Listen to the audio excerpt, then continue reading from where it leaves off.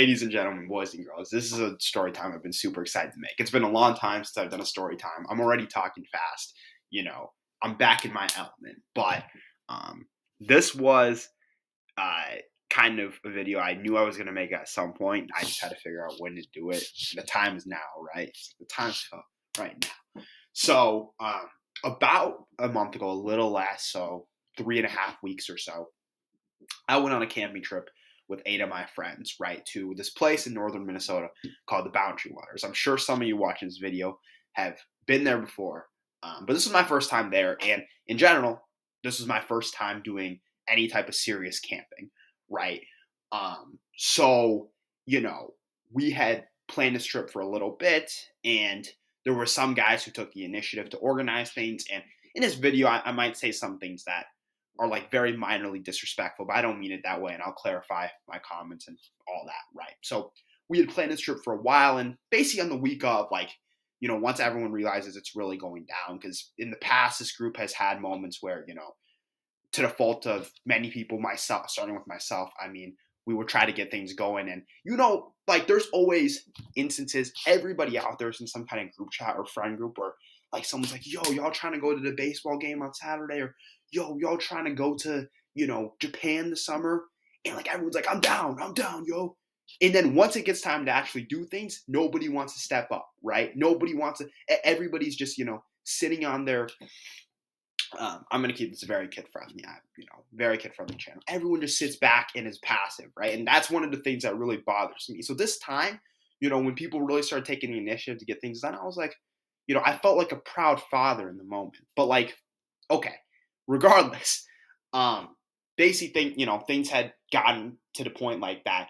We left on Friday at 6 a.m. and this is where the story begins. Okay, that Friday was you know a rough day, and I'm not exaggerating when I'm say you know it was one of the tougher days of my life. Um, I've had my fair share. That one ranks, you know, off the top of my head, I gotta go top 17 for sure. Um, so anyway, sorry, give me a sec. I just gotta rub my eyes real quick. I'm a little tired. Anyhow, um, so we leave uh, this Twin Cities area of Minnesota around 6 a.m., which means we get there around noon. That's after stopping for food. And up until that point, you know, the car ride was pretty fun.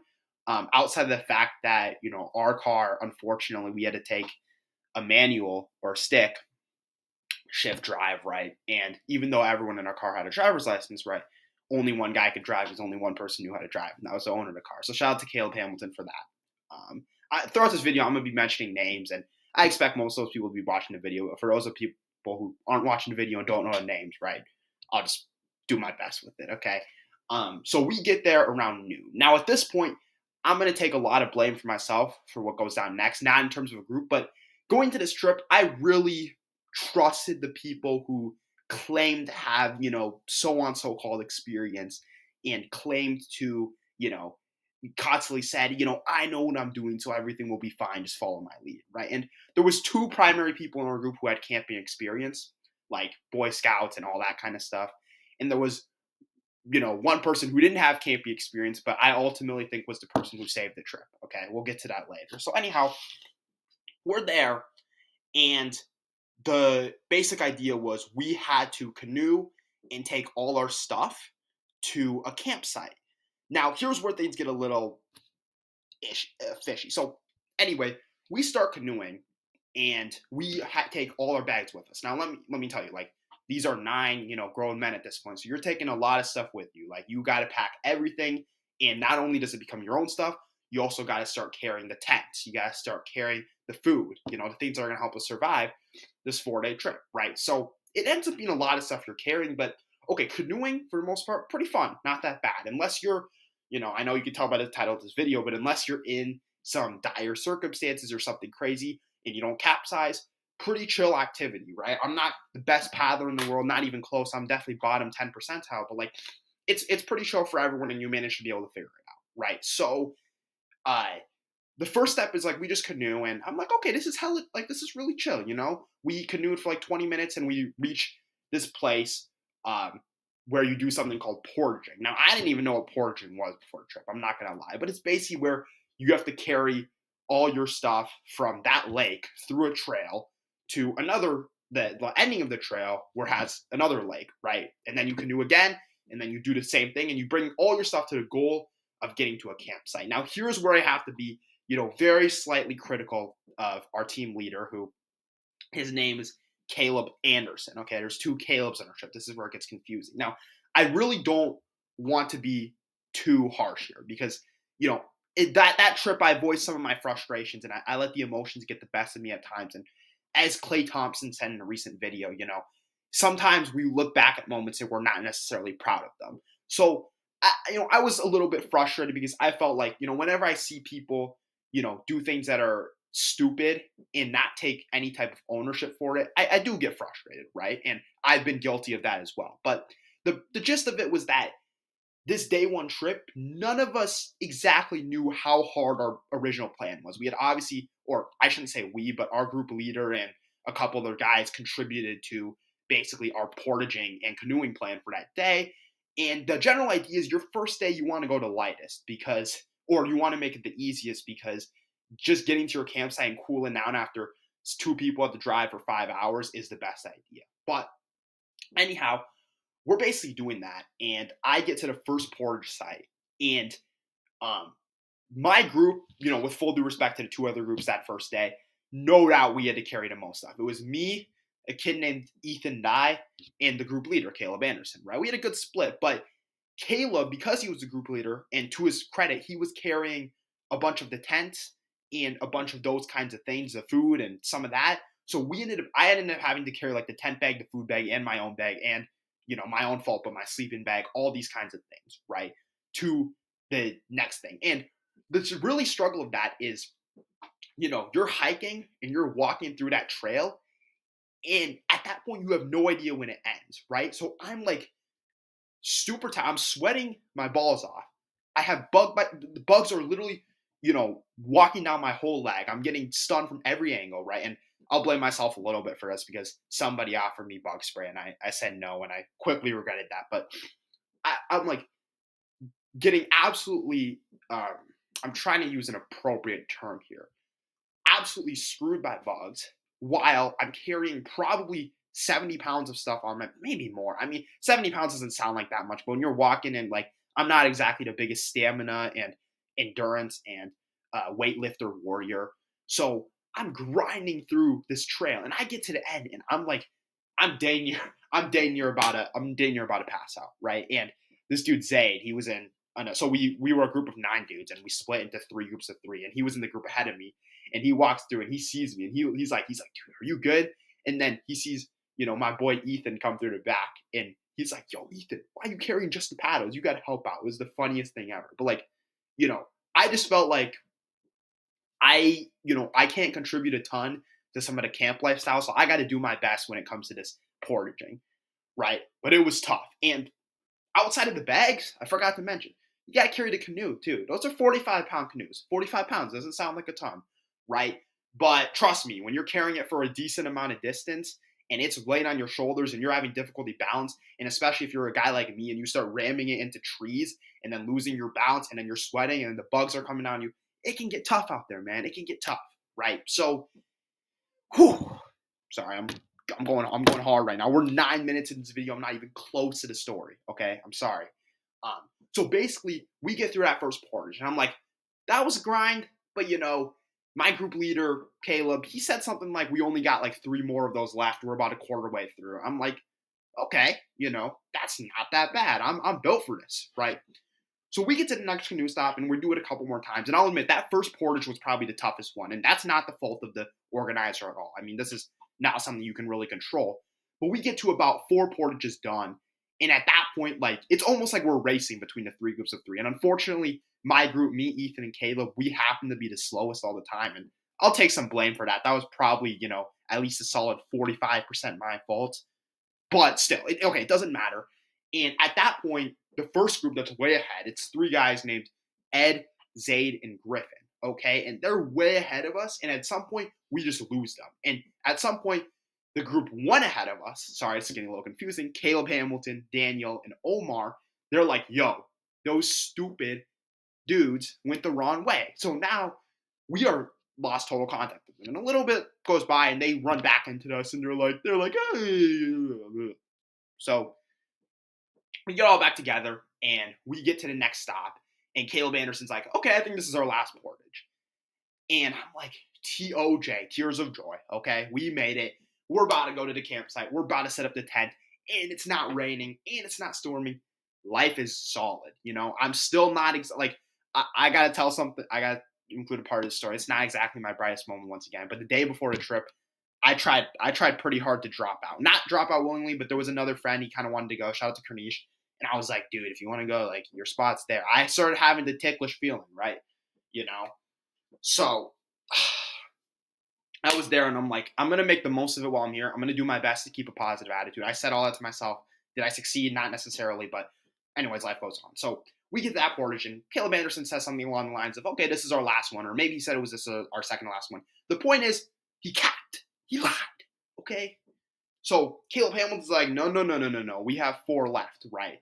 And I'm like, oh, you gotta be kidding me. Are you for real right now? And at this point, I did not make my frustration apparent because we are all in this goal together. None of us want to be grinding out here.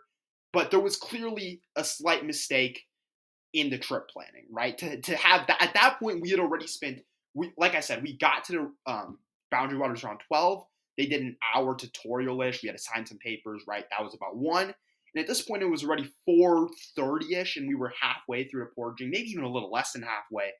And I'm like, dude, like we are at risk of not getting to our campsite by dark. And at that point, who knows what might happen? And that's before accounting for the weather. That's before accounting for when someone might do some stupid stuff. There was admittedly a member of my group who left his life jacket behind at a previous portage site. I don't know who it was between the other two guys. I know it wasn't me because I was wearing mine. So it was like, you know, you never you have to account for stupid stuff, right? This is why you always try to go a little early to things rather than a little late because you never know when you're going to get a flat tire, right? These types of things of that nature. So I'm sitting there and I'm like, I'm sorry for the nose, you know, it's it's messing me up. I don't. Okay, I'm I, I found some tissue, so it'll be fine for the rest of the video. But um, we get to the point where uh, I'm I'm I'm sorry for the slow video. I'm just trying to collect my thoughts, you know. Um, we get like we're at the halfway mark, and at this point, like I'm a little frustrated, but I kept it internal because getting mad at that point, it wasn't going to do anything for anyways, and it wasn't like I was mad to the point where you know I needed to have a rage, but it started getting tough. There was this one portage I remember where um I was not carrying the canoe, but I was carrying the bags, and the dude ahead of me, Zaid, he was carrying the canoe, and the canoe. It, it, depends. I think most people would say carrying the canoe is harder than the bags, but you know I have some slight bias. But that day, like I was, like I said, I was carrying a lot of pounds. I, I might have overestimated when I said seventy, but it's within the realm of possibility. Um, the food bag itself was forty, and I was carrying that. Me and Caleb were taking turns between the canoe and the bags, and I was like so tired uh, to the point I want to take a break. And I see this dude Zaid trucking ahead of me with the canoe. And I'm like, dude, if he's got that dog in him, I have to keep going. So I'm like, I'm grinding through. And at one point, we catch up to the group ahead of us, which is once again Caleb Daniel Omar, other Caleb. And Caleb Hamilton was like halfway through, guys, keep pushing. And I, dang near, like, it wasn't even his fault. I, Daniel was about to punch him in the face. I'm like, halfway? What is blood waffling about? And we no way we're halfway, right? And the way they measured out there is it's like rods. So we were like that one was 80 rods and we were only 40 rods. Basically, the terrain sucked. So that portage was really tough. So let me keep the trip. Let me keep the thing going. I, I expected this video to be shorter, but you're getting a treat or a non-treat, I guess. Put on two times speed if you need to. I'm sorry. Um, so we get through that portage, and at this point, I think everyone's really tired. We're still canoeing, grinding, and at some point, we get through everything and we reach a lake where our supposed campsites are supposed to be around 7:30 p.m. Now at this point there had been this one guy with a paddleboard trailing us and he becomes relevant later in the story, okay? Um this guy was like um he was like fully tatted up in a tank top like he was chilling by himself and he's like, "Yeah, I come here four times a year." And we had some interactions with him. He seemed pretty chill and he was behind us for basically the whole trip. And when you get off the lake, you have to like dock your canoe and take all the stuff out. It takes a little bit. So he was stuck behind us for maybe like an hour or two. And I can understand why he was a little frustrated, but he didn't show anything. I figured we should try to let him pass if we can, but it, it's not so simple, right? It's not so simple. He becomes relevant a little later. So we get to the lake, and this lake, as far as I can recall, has three campsites. Okay, so there's three campsites around this lake somewhere. Okay, and like I said, my group was the last one, but we see the two groups ahead of us. And like I said, this is around now that we're circling like it's around 8 p.m. ish, and they're like, "Yo, guys, every campsite is full." And at this point, like once again, all things are crossing to my mind. I'm dang near considering like I got my life jacket on. I might as well take a swim for it because this point it's every man. No, I'm playing. I'm playing. But like, I didn't. I, I was. I was starting to you know get a little concerned. Right. I'm like, it's 8 p.m. Dusk is in about an hour. Right. It's a little later because it's up north. But sunset's in about an hour, not dusk. And we don't have our campsite. And even after we get to our campsite, we have to set up our tent. We have to make all the food. We have to hang up all the food so the bears don't take it we got to do all this ideally before dusk.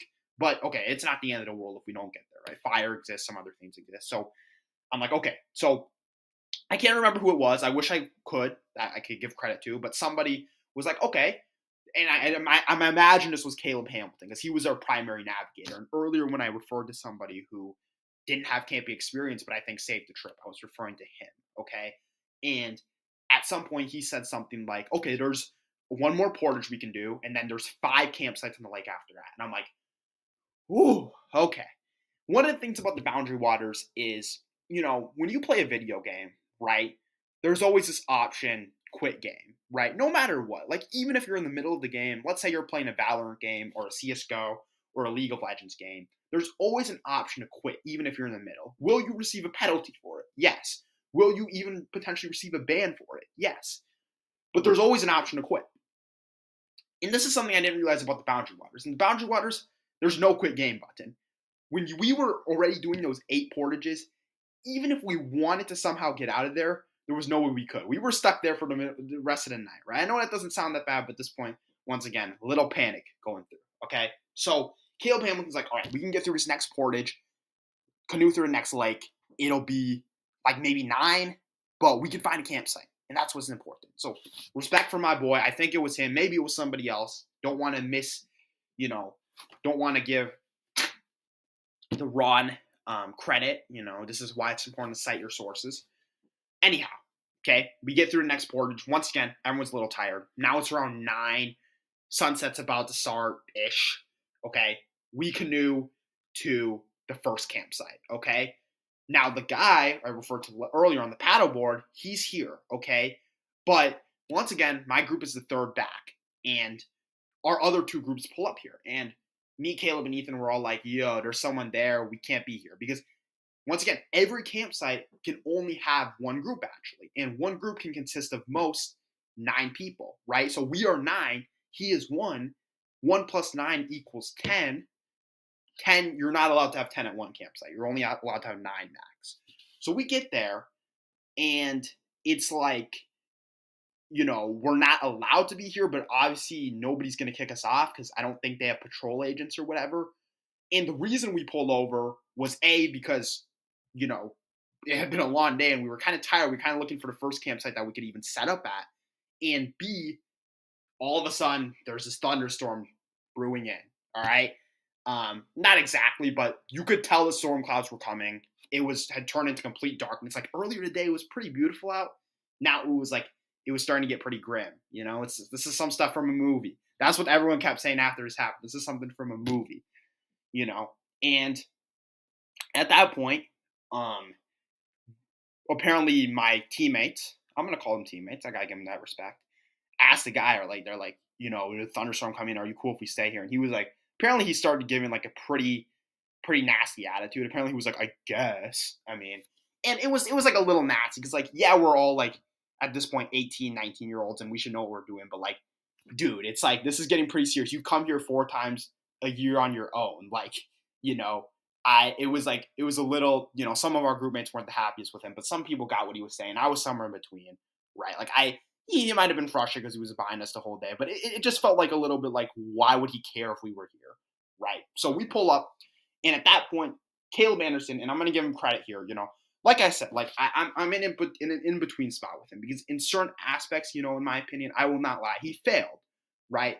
But I know he did try his best. He planned out a lot of things. He got a lot of things. He provided a lot. So I, I don't want to disrespect him at all.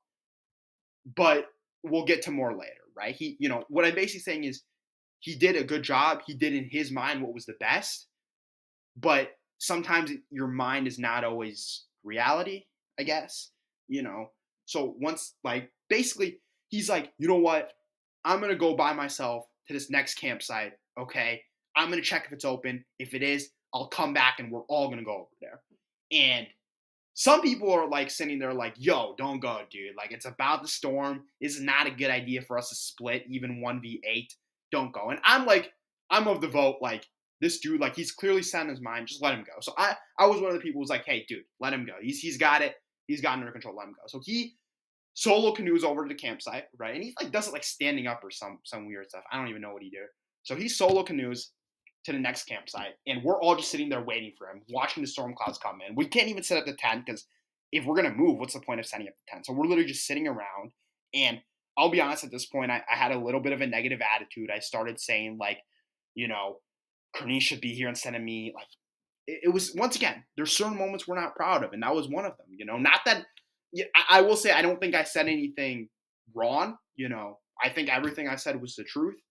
But sometimes there's there's moments where you know you just there's things you do say and there's things you don't say and like i'll be honest like there were certain things that i said that were not productive at all right even if they were true you know that's something i have to acknowledge i have to be, be better at right so i'm there and at that, at that point i started to have a pretty bad attitude because we are have no campsite we've been here nine hours we've been grinding we don't even know what's going to happen we don't know if that campsite's open we don't know what the storm is going to do to us like there's this one saying, right? You can survive three weeks without food, three day, uh, three days without water, right?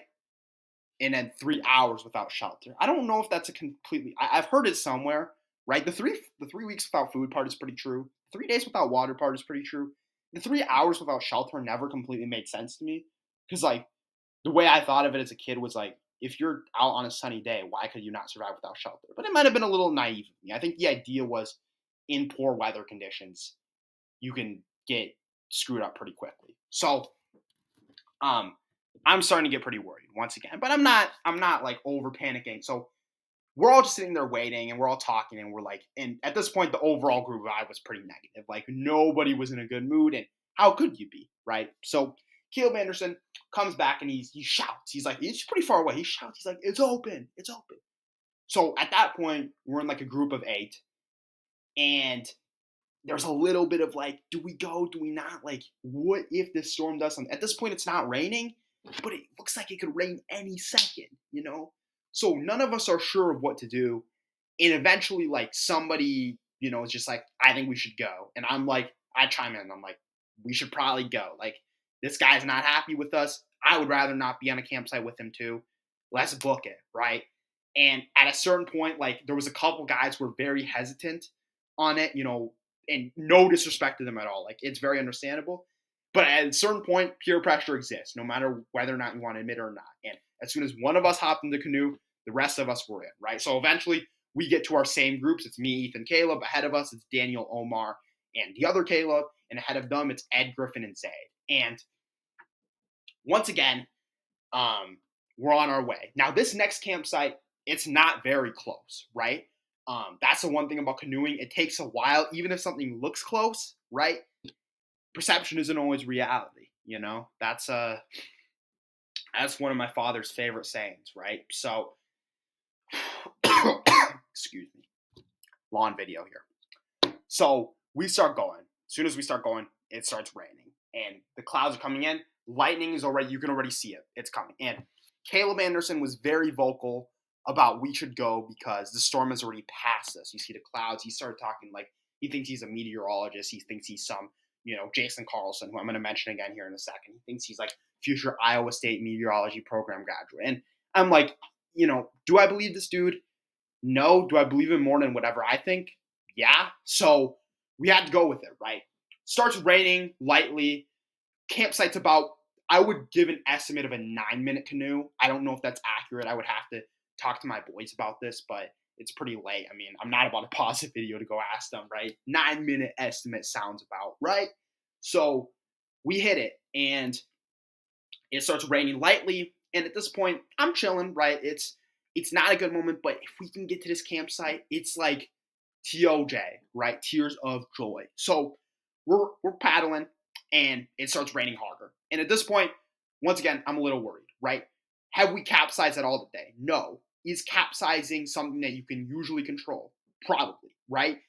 But one of the things I say is right, like I know of, you know, once I said I was going to mention Jason Carlson, right? I this dude lost his phone forever, and because his boat capsized, and that's a guy who goes camping all the time. He's familiar with the outdoors, and as far as I know, the weather. I, I don't know if the weather caused it or not. I'd have to ask him. It doesn't. It's not too relevant, but it happens, right? It definitely happens that things capsize, right? So at this point, it starts raining really hard the wind is picking up. So our boat is slightly shaking, not shaking crazy, but our boat is slightly shaking. And I'm not scared I'm going to get struck by lightning, right? I researched before the trip. I made sure of this. One in 15,000 chance you get struck by lightning, right? Pretty good odds. You know, I am kind of involved. You know, I'm a, I'm a stats major, right? Like, so I have to believe the probabilities. So we're we're chilling there, and wind. We're not chilling actually. Screw what I just said. Wind picking up, rain picking up, thunder in the skies. Okay, is it right by us? No. Could it be by us soon? Maybe. Am I worried? Yes. Okay, that's basically the situation. Now, once again, we're the third, third group, and for whatever reason, we're always the slowest. Okay, is whatever reason me? Maybe. I don't know for sure, right? But we're the slowest. And at this point, right, once again, our boat's checking. The water, you can feel it. It's cold, man. So this is the thing. If you capsize, yes, you have a life jacket. I'll get to that later. You don't necessarily. And yes, we're all competent swimmers, but most of the time when you fall in the water, you don't die because you can't swim. You die because of like the hypothermia and the coldness and all that. So, I mean, at this point, I'm not sure if I'm ever going to see this Earth again. Like, I, you know, it's it's a realistic possibility that something's gonna something bad's about to happen. So we're still paddling, and once again, we're falling further and further behind the group ahead of the groups ahead of us, right? I see them way ahead. And I'll tell the story um, that uh, first off, the group ahead of us, Daniel, Caleb, Omar, right? Um, apparently, Omar was being like, you know, he was giving all these like quotes, like presidential quotes or whatever. And Daniel was like, he's like me, man. We were thinking along the same lines. Like, this is a movie, like, but it's scary as F, right? And he's like, he quotes, and I quote, just effing paddle. That's what he said to Omar. And everyone heard it, and it was funny as F, right? And likewise in our boat, there was a guy kind of, you know, similar to Omar, right? Outdoors experience, you know, um, or or I don't want to call this guy similar to Omar. That might be offensive to Omar. But like he was like, you know, all about this like David Goggins masculinity. I'm not scared of anything, which I respect, right? Every guy on this earth has some form of, you know, like I want to show like I'm the boss, right? I, at least I think so, you know. But here's what I'll say: like at a certain point, you overdo it and you become annoying and you become cringe. Like we are, you know, whether or not like you want to admit it, like is it right to be like super scared you're gonna die? Probably not. You shouldn't panic, right? But everyone have should have a certain, you know, what's it called? I, I took AP psychology, but I can't remember exactly the the term or the the body part? Is it like the fight or flight? No, it's not the fight or flight thing, but it's like it's like the neurological response or whatever. Like the the the, the brain, just the brain, screw it, just the brain. The brain power to know, hey, we're in a slightly dangerous situation where our boat could easily tip over, right? And this dude is sitting here talking about like David Goggins would be so happy to be here, and he, and he starts like basically like slobbering Andrew Tate and doing all these things, and I'm starting to get really annoyed because like once again, dude, it's okay to have your idols, even if like I don't see eye to eye. It's okay to like not be scared of anything, bro. But don't overdo it, man. You're just getting annoying. So this is what me and both Ethan thought. You know, you know who the guy I'm referring to is. And uh, once again, story continues. The people way ahead of us, Zaid, Griffin, and Ed. I hear from them later. I say, I talk to Griffin. He goes, dude, I look back at your boat and I see the dude in front of you and the dude behind you are not wearing life jackets. And I'm like, and I didn't know about this until later. I was locked in. I tell you, I was locked in. And I hear Ethan and Griffin were both, I mean, Ethan and Caleb were both not wearing life jackets. Caleb, it makes complete sense. That dude, you could offer him a life jacket while he was drown- drowning and he'd decline it because he said that's what David Goggins would want him to do. I don't even know if that, that that's that guy's name, David Goggins. With full due respect, I, I don't know who he is. That's wild. So I, I was just recording and it hit the 30 minute limit for free users on Screencastify. So I had to get a part two. I'll either edit it, I'll probably try to edit it together, but if not, I'll have to make it a two parter. That would be wild. Um, so once again, starting to get annoyed. I talked to Griffin. He says the two people in your boat don't have a life jacket on. Once again, Caleb, he probably wanted that way. Ethan, I don't know what that dude was thinking, bruh. Because the thing is, I thought, you know, as we got closer to the campsite, I'm not gonna lie, this dude Ethan put his paddle down and he started saying, I can't see, I can't see. Because once again, it started raining pretty hard. So he starts reaching in the water and splashing water in his eyes. So at this point, we only have two people paddling, right? Does that become easier or harder to balance? I don't know. We have one guy who's literally reaching in the water, so his momentum's pointing one way, right? And he's splashing his eyes, and he doesn't have a life jacket on. And at this point, the, the thought crosses my mind. I said, I love Ethan Dye. That's my friend. That's one of the nicest guys I've ever known. If he falls in that le- if he falls in that lake, am I gonna go in there and save him? Like I, it crossed my mind, dude. I didn't know what I was gonna do, dude, because I knew Caleb sure as hell wasn't saving him. So was I gonna save him, or was he gonna die, or was he gonna save himself? I didn't know, man. I didn't know. Luckily, we didn't reach that point. But back to the story, man. I talked to I talked to Zaid after, and Zaid goes, you know, me, Ed, and Griffin, we set out an early lead. You know, it's like the amazing race. We knew we were going to get to the pit stop first. And he says, I look behind us. I saw Daniel, Ed, and Omar. They were pretty far behind us. I was worried about their livelihood. Then I looked extra far. I saw you, Caleb, and Ethan. And I knew you guys weren't making it. He said that. He said there was no way you guys were making it. Like I said, the rain is picking up, the wind is picking up, thunder all over the place, dude. You know?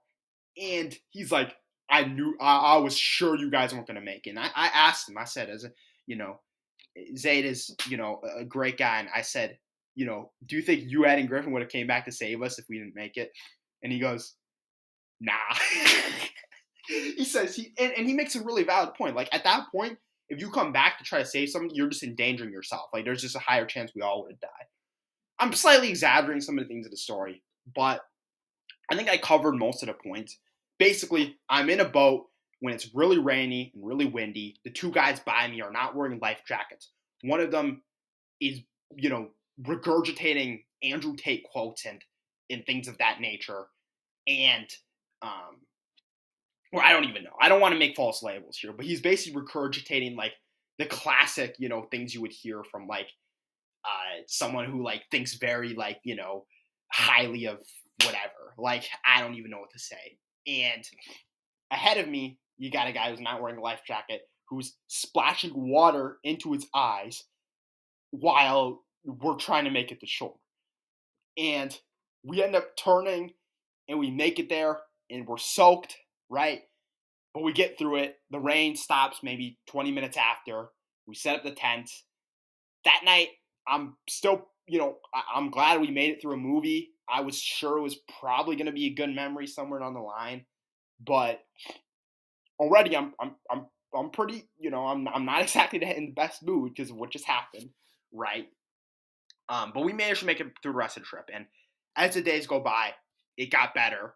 We made it through a 400 rod portage, which was one of the goofiest experiences of my life. In the meanwhile, we had to wait 30 minutes in the cold to let other people go through. Um, but overall, it it ended up being a, I would say, a successful trip, all things considered. And I'm happy I went. I'll say that I'm happy I went, and I learned some things along the way. So, story recap. It's a long one. This is this is my longest video ever. It's up there. It's up there. Not longest ever because I used to make some really long videos, but longest story time ever, as far as I remember. Um, man, let me know y'all thoughts down below. I'm sorry that it was this long because I did ramble a lot. I repeated points a lot. I'm sure I wasn't the most clear about things. Um, hopefully, I was fair in my story. Like the points I made were valid. Um, I hope I didn't, you know, I hope basically when I make these videos, my, my goal is, and even when I made videos in the past like that, potentially controversial and like call out certain people, my hope was always that if that person watched a video, right? In this video, I'm not even calling anyone out. These are all my friends. But if my point was like, for example, when I made like story time, I got snaked or story time, like you know, uh, like things of that nature. My goal was always if this person watched a video, this person that I'm calling out, would everything I said still be true and still remain valid to the point where they can't really be upset with what I'm saying. And every time I finish a video, I wouldn't upload if I didn't feel that was the case. So most of the time, I did upload because it was the case. But like, Oh, that, you know, that's what I mean. I, I make all these stories just to have a good time, and I do tell the truth in all of them. I, and I try my best to give a full perspective and, and be measured and not be impulsive, right? And that's why like those videos, even though I called certain people out, right, and they saw it and they, you know, I'm sure they weren't the happiest about it, but like they couldn't say anything was unfair about what I said because it was all true, right? You, you get what I'm saying? So I hope this video is the same way, where like even though I didn't exactly speak in like the most positive light about Caleb Andrews, I wouldn't say I spoke in a negative light about him either. And I'd also say everything I said was fair. And he has his own perspective, and he'll I'm sure he'll leave it down in the comment section below, and he'll say something like, "Oh, you know, Ashton's a giant, you know, scaredy cat, and he doesn't like rain." You know, because I mean that's something he'd say, right? But like, and I hope same thing for everyone else on the trip, the other seven boys that I was with. I hope they all say I had a fair perspective and this is an accurate representation of what happened, right? Anyways, I appreciate y'all watching. This is a lot of video. It might have not been the easiest to understand, but I hope it was a good one too. Let me know if you want to see more content like this. Let me know if you, you know, we had some legendary moments on this trip I didn't even cover in this video. We had a time where someone put on another person's pair of boots and didn't realize for three hours. We had someone take a huge fall off the canoe while they were trying to get off and it looked like they were like bleeding from the knee and the first thing they did as they stood up was check their watch we had some wild moments. Let me know if you want to hear about it. Appreciate y'all watching. Until next time peace. Ashton Jin is out